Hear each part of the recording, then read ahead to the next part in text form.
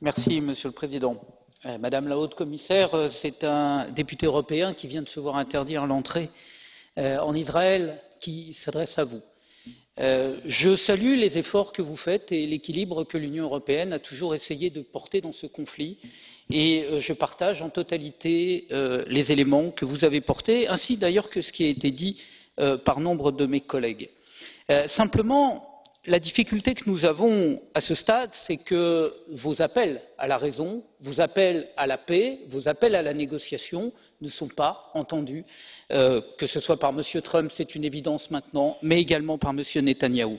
je vous ai demandé il y a un an ès qualités bien sûr?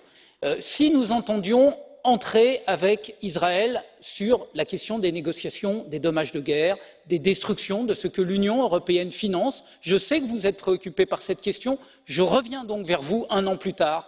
vous savez qu'Aretz vient de publier la facture que cinquante sept eurodéputés ont adressée au nom de l'union européenne pour ces destructions donc je souhaiterais que nous puissions entrer aussi dans un dialogue sur cette question là qui est une question qui touche la vie de milliers de civils qui n'ont rien à voir avec la violence mais simplement avec leur dignité qu'ils souhaitent retrouver. merci madame la haute commissaire.